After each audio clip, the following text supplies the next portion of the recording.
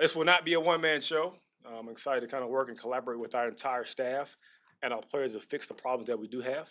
And so the new signal caller is Thomas Brown. Was the pass game coordinator gets elevated now to take over for the fired Shane Waldron, who you know in his first year leaves after just nine games. And crazy thing for Brown is he was in the same situation last year for Carolina under Frank Reich because they fire their play call, and then he does the same thing with a first round quarterback in Bryce Young. It's almost eerie, the circumstances. It's about being able to try to find the best ways to be effective with our playmakers, right? To be able to marry what we do from a formation and motion standpoint.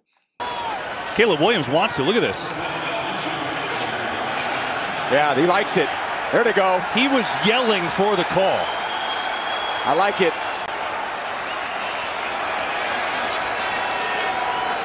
Putting a lot of trust here in Caleb to make the right decision.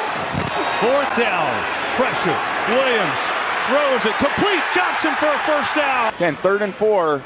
If you're the play caller, it's a good opportunity to run it again. Make it that possibly get it down to a fourth and short, and you can go for it again. Put the ball in Caleb's hands. Uh, making practice as hard as humanly possible so the game can somewhat become easier. Uh, so to me, that's going to be our focus, what we're locked in on. Again, it's going to be a collaborative effort, all eyes and all uh, all focus on it going forward to get us better.